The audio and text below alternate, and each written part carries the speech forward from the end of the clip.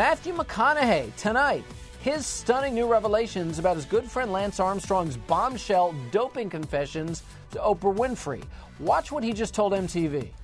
My first reaction was I was pissed off. I was mad. Um, I then got kind of sad for him, and I and, and what and, and I took it kind of first off. I had a part of me that took it personally, which I think a lot of people have. Sure. And what I've realized is that those of us that take took that personally, like, oh, you, he lied to me. It's not. It's it's it's, it's not true. Right. What I mean by this is, what was he supposed to do? Call me to the side and go, hey man, I did it, but don't tell anybody. Then I would have really had reason to be pissed off at him. Going, you want me to walk around holding this? You heard what Matt just said. He's sad, he's pissed in his own words, he's mad, but did he also kind of seem to be saying maybe we need to give Lance a second chance?